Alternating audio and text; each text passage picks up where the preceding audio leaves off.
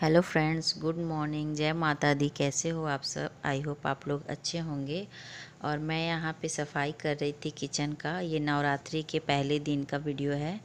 और ये वीडियो थोड़ी देर से ही जाएगी क्योंकि जो मेरी वीडियो देखते हैं उन्हें पता होगा कि मेरा गारमेंट्स का शॉप है और मैं खुद ही चलाती हूँ। तो इसकी वजह से मुझे टाइम नहीं मिलता। तो जो टाइम मिलता है उसी में मैं अपना सारा काम मैनेज करती हूँ। तो बस मैं यहाँ पे नहा धो के किचन सफ़ाई करने के बाद मैं नहा के और पूजे की तैयारी कर रही थी। वैसे तो मैं नौ दिन का व्रत करती थी, पर इस साल मेरी कुछ तबीयत भी ठीक नहीं थी और फिर मैं अकेले पड़ जाती हूँ दुकान, घर तो मैंने कलश स्थापना कर दिया, पर मैंने नौ दिन का व्रत नहीं किया। मैं बस चढ़ती और उतरती लास्ट वाला फ़र्स्ट और लास्ट वाला ही करूँगी। तो बस मैं यहाँ पे पूजा की तैयारी कर रही थी और ये गंगा जी की मिट्टी है और मैं मिट्टी का जो पात्र में जो रखते हैं वो कलश तो वो मैं नहीं ला पाई थी। तो ये जो बर्तन है वो नया था तो इसलिए मैंने सोचा इसी में बैठा लेती हूँ।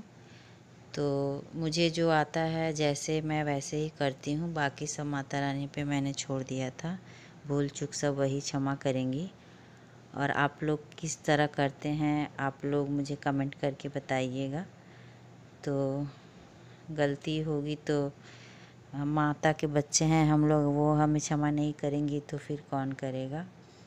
तो बस यही कर रही थी मैं और आप लोग भी आइए, मेरे साथ पूजा की तैयारी करिए और देखिए कैसे कैसे मैं करती हूँ। और हाँ मुझे बिल्कुल भी टाइम नहीं मिल पाता कि मैं वीडियो बनाऊँ। अभी फ़िलहाल तो मुझे बिल्कुल भी नहीं मिल रहा है, क्योंकि पता है आप लोग का भी फेस्टिवल का सीज़न है, दुर्गा पूजा है, और यहाँ हमारे यहाँ कोलकाता में तो ये फ़ेमस है तो यहाँ पे काफ़ी भीड़ होती है। और इस वजह से यहाँ मैं दुकान, घर मतलब मैनेज अकेले ही करना पड़ता है। तो हस्बैंड भी मेरे आने वाले हैं, नवंबर में वो भी आ जाएँगे। जैसा कि आप लोग को पता होगा मैंने बताया था कि मेरी देवर की शादी है तो मैं गाँव जाऊँगी नवंबर में।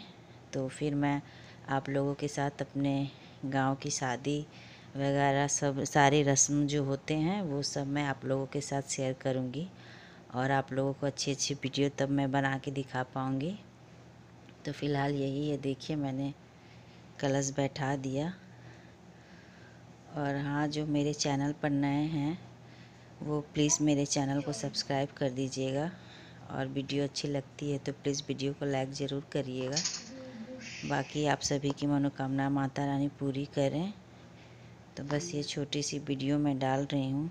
ये वीडियो मेरी थोड़ी लेट से ही जाएगी, क्योंकि बस थोड़ी सी टाइम की प्रॉब्लम हो जा रही है।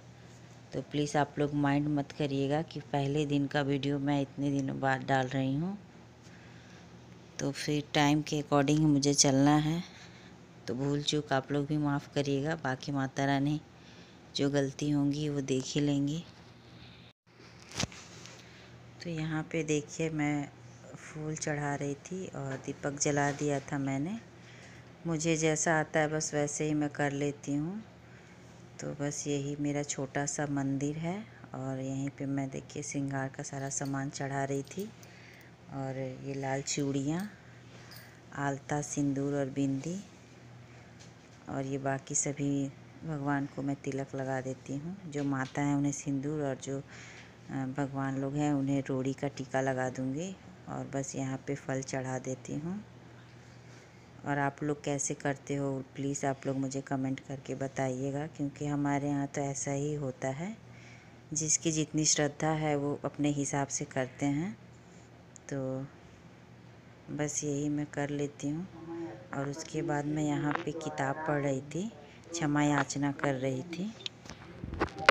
क्षमा करो परमेश्वरी नहीं जानती, विसर्जन करना नहीं जानती तथा पूजन करने का ढंग भी नहीं जानती, क्षमा करो।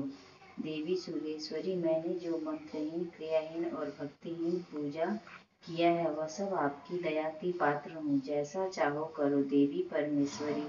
अज्ञान से, भूल से अथवा बुद्धि भ्रांत होने के कारण मैं जो न्यूनता या अधिकता कर दी हूँ, वह क्षमा करो और प्रसन्न हो। सच्ची